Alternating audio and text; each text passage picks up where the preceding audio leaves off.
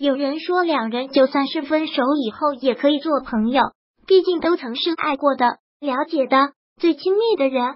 特别是中国长久以来以和为贵的思想影响着所有人，很多人就潜移默化的觉得没必要闹这么绝，或者也有人觉得分手之后不可能完全的放下对方，所以做个朋友也挺好的，以另一种身份去关心对方。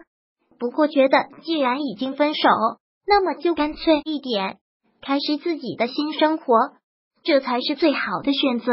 有一些星座分手的时候活得很心，要想再跟他们联系，想都不要想。天蝎座，天蝎座是出了名的腹黑星座，无论是工作、生活还是感情，天蝎座处理问题的方式都是斩钉截铁，毫不留情。对于天蝎座来说，付出过了，得到过了，现在既然选择的分开，那就不要再联系。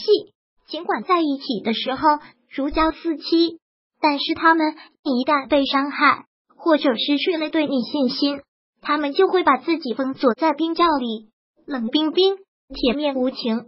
狮子座，狮子座敢爱敢恨，当初有多爱，现在就有多无情。他们一旦认定一个人，就会把自己所有的感情表达出来，把自己最好的东西给对方。但是狮子座也是高傲的王者。分手后受伤的他们会认为自己被重重的打击，没有了当初的热情，只剩下一潭死水。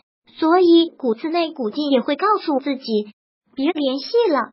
摩羯座，摩羯座相当固执，有时候认定了一个以后十头牛都拉不回。在感情阶段，摩羯座会无私的奉献，他们愿意一个人承担所有的苦，让双方更幸福。但是分开后。他们也会宁愿一个人独处，也不愿再提起任何和过去有关的事情。无论是痛苦的还是快乐，都被摩羯座独自封锁在心里了。其实，如果分手还想做朋友的，只有一个原因，就是还在乎彼此，放不下对方。再者，就是从未相爱过。如果真的彻底放下，那就天涯各处，从此安好。如果喜欢本视频。请分享并订阅本频道，别忘了按赞哦！